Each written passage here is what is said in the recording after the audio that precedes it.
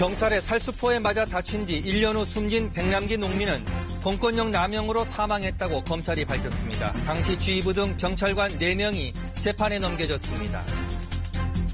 다음 달 7일 방한하는 트럼프 미국 대통령은 1박 2일 한국에 체류하며 한미 정상회담 등을 갖습니다. 미국 대통령으로는 25년 만에 국빈 방문입니다. 북한은 미국 본토에 도달할 ICBM을 개발할 때까지 대화에는 관심이 없다는 것으로 전해졌습니다. 한미 훈련이나 트럼프 아시아 순방 기간 북한 도발 우려가 제기됐습니다.